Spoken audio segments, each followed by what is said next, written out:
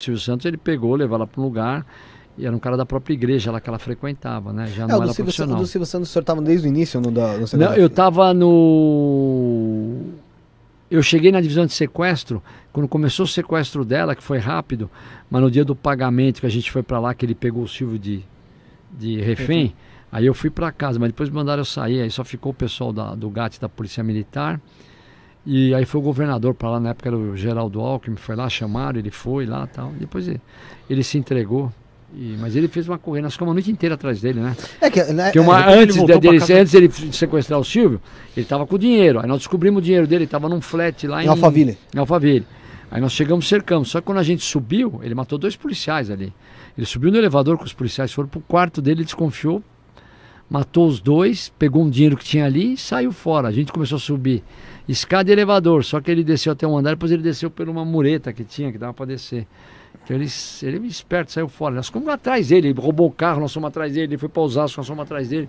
De manhã ele estava quadro, não sabia para onde ir. Aí ele foi para casa do Silvio, pegou o Silvio de. Que loucura. Isso, isso É um jeito muito- para não morrer, porque ele ia morrer. Ele matou dois policiais, ele ia morrer. Entendeu? Ele ia morrer. Não, eu mas tava com sangue nos olhos. isso foi tipo aí- filme também. Filme, coisa Porque- filme. Até, a doença que ele morreu também foi meio. Não, a doen- a- vou, vou te falar honestamente, eu acho que Que foi essa doença que ele morreu aí. Aí- é, não dá pra saber, né? Não Mas eu saber. acho que fizeram um favorzinho aí de tomar um chumbinho. Só deram um empurrãozinho nele. Eu não sei se deram, eu sei que ele. Mas também não vai fazer Mereceu, falta. né? Também. O, o Silvio Santos é, pegou o dinheiro de volta, acho que faltou 30 mil reais, que foi o dinheiro que ele levou na hora. O resto pegou o dinheiro todinho de volta, devolveu os 470 mil pra Mas ele. foi muito louco, porque um dia antes tava lá todo mundo falando, nossa, que a filha do Silvio Santos foi sequestrada. Ela tava não tinha É, ela tava né, lá, ai, não sei o que, eu fui super bem tratada.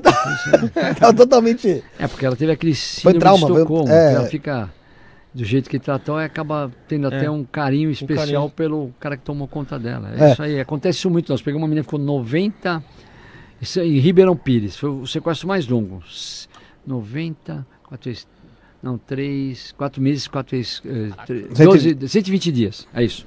120 dias, estouramos o cativeiro, o cativeiro, nós pegamos o cara na hora do, do pagamento, aí pá, leva ele pra lá e pra cá, bom, ele deu lá em Ribeirão Pires. Ela estava lá. Ela ficou, depois do sequestro, nós queríamos pegar o resto da coisa. Sabe como que nós pegamos? Por causa dela. Porque ela falava com o cara no telefone, ficou apaixonada pelo cara que tomou conta dela no cativeiro. Aí nós pegamos o cara, que era em Ribeirão Pires, uma bela de uma casa, estavam só os dois lá. Ela dormia num cantinho debaixo de uma escada, puseram um colchãozinho para ela e tomavam conta para não chamar atenção. Ela ficou 120 dias ali. Mas você, mas você vê que loucura, é isso que eu tava falando. Eu lembro na, passando no Jornal Nacional, filho do Silvio Santos, até de fundo, assim, do William Bonner, tá ela dando tchauzinho assim ao Silvio atrás. E no outro dia era o Silvio que tava sendo sequestrado. Porque como, ele, ele fugiu, Entendi. ele É. fugiu. Se ele não foge daquele jeito, a gente ia pegar ele. Olha, o ele pessoal tava falou na que ele- caça dele. O pessoal falou que ele tava pelos, lá no flat de Alphaville, né? Tipo, É. de um lado pro outro, ele tava desesperado. É. Ali parecia realmente rato, rato acuado. Nós cercamos tudo. É, o azar foi o seguinte: é que ele foi tão ligeiro que ele desceu até o segundo andar e ali ele desceu pelo. é, São dois corrimões que ele foi pondo a mão e foi descendo. E a gente foi subindo de escada e subindo no elevador. É, já sabia o local. Eu cheguei lá em cima e vi os dois policiais mortos. Cadê ele? Não tá mais aqui, desce correndo. Aí começa a correr, aí ele fugiu em tal carro. Aí começa a perseguição. Ah, olha, nunca vi tanta polícia na minha vida como vi aquele dia. Aquela estrada, Queriam aquela pegar castelo, aquela, aquela Viliara, aquela, aquele Osasco. Aquilo a população deve até ter gostado, porque teve um assalto. Porque tinha de viatura. Eu parecia o diabo com o demônio no corpo para pegar esse cara. Mas ele, aí de manhã, cedo, 6 horas da manhã, eu fui para casa, eram 5 horas, não deu. Seis e pouco, me liga, ó, ele sequestrou o Silvio Santos, ele tá na casa do Silvio Santos. Você não acreditou, né? Pô, tá de brincadeira. Não, não acreditei não. Eu falei, mas esse cara, esse cara É o é, diabo. é, é bem coisa de Silvio Santos, de SBT, televisão, filme, né?